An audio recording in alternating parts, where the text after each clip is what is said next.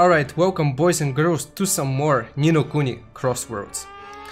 So guys, this video is gonna be dedicated to dungeons and I'm gonna show you which dungeons I've unlocked. I'm currently level 25 with my boy and my silly cat.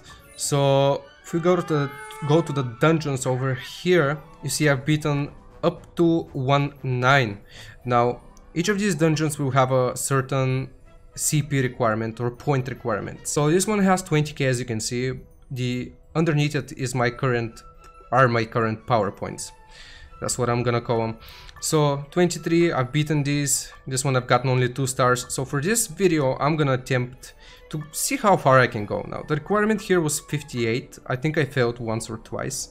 So let's try to complete it this time actually. Now this game Ni no Kuni Crossworlds in general is fun uh, I'm having fun with the dungeons that's what I really enjoy. Uh, but the auto pathing on the or the auto completion of the quest is just completely lame. I think it is super super boring. Uh, you just press the button and it completes everything for you. Uh, that's fine if you don't have any free time, but games are just made to be enjoyable. I think so. I'm gonna make a separate video for uh, my pros and cons uh, of Ni no Kuni Crossworlds and what I think so far. But this is... I think the game has lots of potential to be good and I ju I'm just gonna die. Wait a second, I was just talking a lot. Uh, but yeah, for future Ni no Kuni Crossworld videos, make sure you like and sub. I'm gonna be making and covering this game a lot, especially when it comes out in English. Because currently, to be honest, to be completely honest, I've got very little idea what's going on. I have not been uh, understanding this game whatsoever. And that's because of the language barrier, I think, mainly. Uh, but yeah, I just press the buttons and it auto-completes the quest for me, which I'm not really hyped about. Now this dungeon, as you, can, as you guys can see, is kind of difficult. You can't just auto-complete it and wait for everything to just, you know, magically do it for you.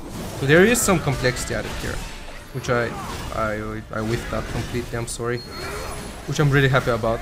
But yeah, there we go. 1-9 dungeon completed with my boy.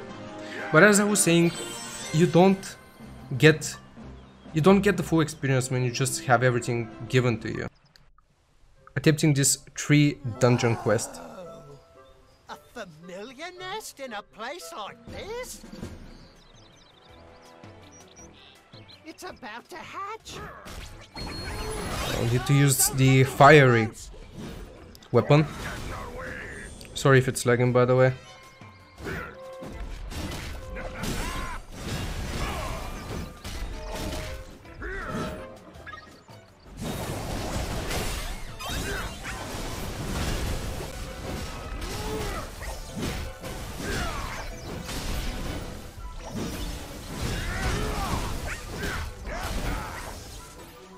Okay, the idea here is to protect the eggs.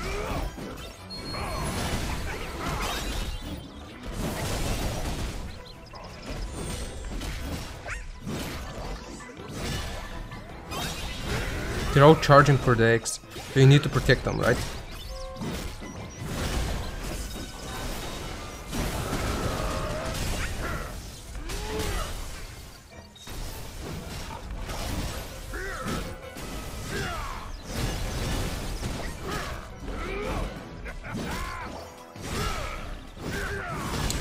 We got the timer to the left. We just gotta survive all of these seconds. Just gotta make it. One of our eggs is getting hit hard.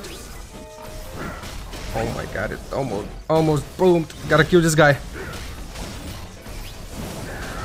26 seconds more. 26.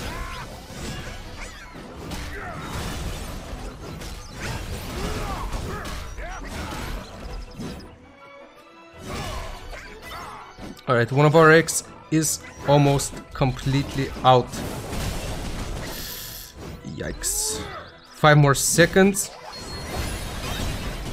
Just five more seconds. We did it. We managed to protect it, I think. Good. This guy falls.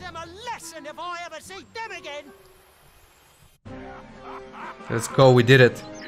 We protected Diego's. Three stars. Not gonna buy this.